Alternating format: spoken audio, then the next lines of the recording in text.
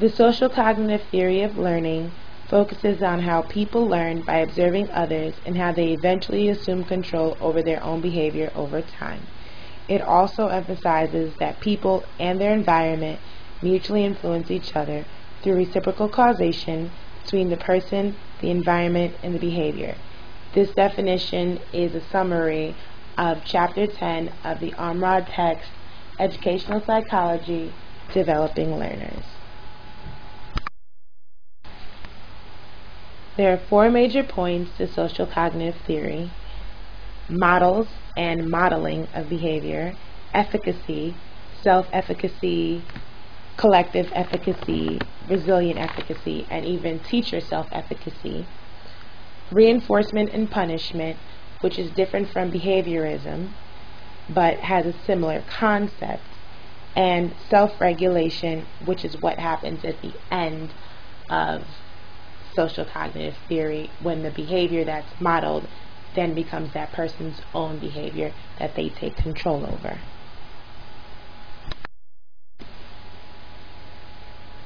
Models and modeling is one of the most important concepts behind social cognitive theory. Models can be live, which is a person who's alive, who you can interact with on a daily basis, or who you just know from teachers to parents to peers, or symbolic models, which can be fictional characters from books, TV, movies, other forms of media. Modeling is demonstrating a behavior from another person or observing and imitating another person's behavior. An effective model is typically competent, they have prestige and power, and their behaviors are relevant to what the learner's circumstances are. For example, a basketball player who is in high school may model their behavior after LeBron James. Successful modeling of someone else's behavior requires attention, retention, motor reproduction, which is actually having the ability to do that thing that you're modeling, and most importantly, motivation, which is actually continuously trying to do that thing you're modeling. Um, as far as learning is concerned, in academic skills, you can also learn academic skills by observing a model um, you can learn how to do a task and even how to think about a task. And this is referred to as cognitive modeling.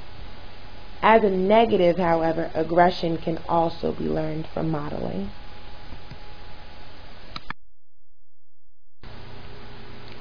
Efficacy, though a separate point in and of itself, is very closely related to modeling in that models can help you believe what you can and what you think you can and cannot do and what tasks you may take up or avoid. Self-efficacy is where people tend to choose certain tasks or activities at which they believe they can succeed or avoid others at which they think they might fail at. This can usually be influenced by seeing someone else succeeded at a task and thinking that you can do it in that same way, or seeing someone else fail at a task and feeling like you're going to have that same kind of situation. For example, if people tend to say that a teacher is hard and multiple people tend to fail with that teacher, you may also believe that and you're going to just avoid that task altogether. They usually consider previous successes and failures when thinking of which task to take up. However, there's resilient self-efficacy, which is still trying to do something even after previous failures or seeing other people fail at it. You'll also form opinions based on successes and failures and responses from others, and this is typically how people come to their own conclusions of what their personal self-efficacy is. There's also collective self-efficacy, which is working as a group to succeed at something and also learning to coordinate roles and responsibilities. There's also teacher self-efficacy, which is what a teacher believes they can and cannot teach their students in their class and how much they're going to give to trying to help their class succeed and at what point they may avoid certain topics or abandon certain topics when they see that it's just not working.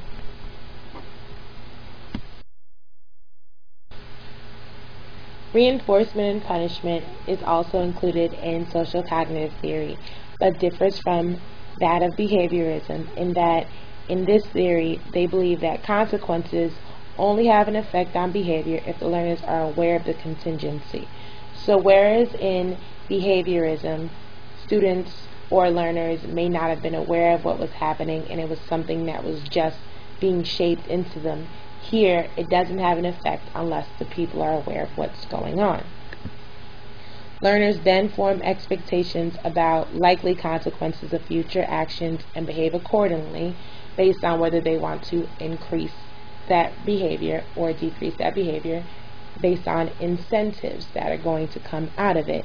Incentives are a very big part of social cognitive theories um, determinations of reinforcement and punishment and explicitly where it differs from behaviorism. It also is based on existing patterns of reinforcement and punishment. So there comes a point where based on seeing behavior happen to others or how things happen around you, you start to understand what may what may be the outcome of certain behaviors. Another based on that point is vicarious reinforcement and punishment, which is responding in an increased way or decreased way based on what you've seen happen to someone else. So if you see that a student in your class is always getting in trouble for a certain type of behavior, you may decrease that behavior in yourself even though you've never been addressed about it, but you see how it's happening to someone else. So it still is based on there being a model of someone else doing that potentially, but it's not an intentional model.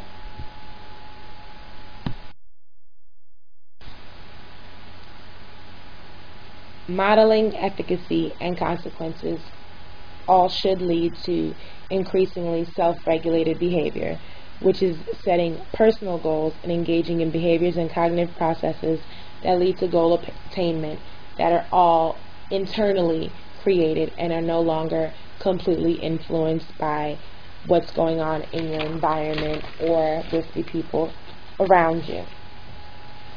Um, self-regulation includes self-instructions, especially while performing complex actions and behaviors. You'll pretty much talk yourself through it, and this is something you're doing externally. You're going to also learn to self-monitor your own behavior. This is probably the end point of watching modeling and watching vicarious reinforcements and punishments. You now know what kind of behaviors that you want to do and you can regulate them on your own. You'll also be able to self-evaluate, which is judge your own performances or behaviors. And eventually you will have your own goal setting, your own planning, your own way of motivating yourself, your own way of having attention to the things you're trying to do, forming your own learning strategies, and knowing when to seek help. So self-regulation is basically the culmination of the previous three points, and this is what social cognitive theory should lead to. So all of those outside influences from the environment and outside things that are affecting your behavior, whether it's people, places, or things, should then eventually lead to you being able to monitor and self-regulate your own behavior.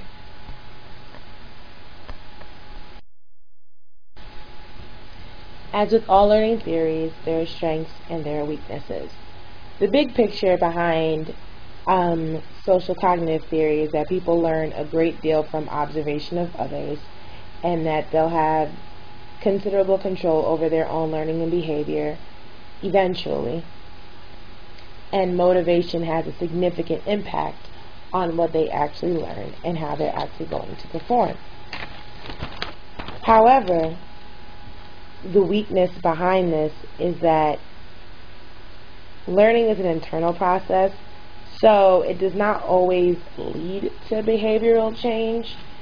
And the fact that people are very aware of who they're choosing to model themselves after, in opposition to something like behaviorism, where this just seems like something that's involuntarily happening to the person. So, social cognitive theory is based on motivation and the person actually being aware of what they're doing and incentives that basically motivate them to keep doing the things they're doing. So this is a weakness to the theory where it seems like learning can be stopped at any point. The people don't have to do they don't want to do, they can avoid certain tasks. No other learning theory really addresses learning in that same way where someone can pretty much just give up. Self-efficacy actually makes it seem as though a person can reach the conclusion of, I can't, I won't, or I know I will not do this thing, and they just do not complete it. And they can choose their own models for behaviors instead of it being an internal thing where how something directly happens to them is the only influence over how they behave. There's a lot of vicariousness in social cognitive theory and models where something doesn't have to happen to you at all before you form a conclusion. That's a very, that's an extreme weakness in that you can't be 100% sure of what you can do or how your behavior will be taken at a certain thing or how you'll perform a certain task unless you actually engage in that task. And social cognitive theory is very strongly based on environmental influences having an effect on your behavior and not you actually participating in the actions and seeing how your behavior is affected by it. Also, because of that, the reciprocal nature of the environment, the person, and the behavior, not only does the environment affect you, the person, or your behaviors, but in the same sense, you can affect you can affect your environment. For example, you may have a teacher completely give up on you. This is an example from the Ormrod text where you might work, where a teacher may work with a student and accept that the student just cannot complete the task. And this has to do with the teacher's own form of self-efficacy, of accepting that they can't teach the student that thing and abandoning it as opposed to most other theories where you're supposed to hope the student can pick up a different learning strategy and, and work with it. Or maybe there's a cultural approach that you can take to helping the student. But social cognitive theory actually makes it seem as though there's certain things you cannot do. Or if that student is not motivated enough to do it, they will not do it. And I think that that's a downfall of the theory in that motivation and contingencies and incentives have a lot to do with learning as opposed to actual metacognition and the student sitting there and working out ways of doing it and not accepting no as an answer but instead using a different approach. And I think that's a strength of other learning theories. However using models of behavior is a strength in that you can learn a lot of things without having to take that risk yourself or put yourself out there. And you can see how teachers will react to certain things and your peers can be very good models for you as far as how you might want to go about learning something especially with the academic skills part the cognitive modeling where you can learn how to do something or how to think about something based on modeling your behavior after another student or modeling it after your teacher and your teacher's example. So there are strengths and there are weaknesses to this theory. Overall, it's a strong learning theory and one that is used very frequently outside the classroom and translates well to the classroom in focusing on how you learn by observing others.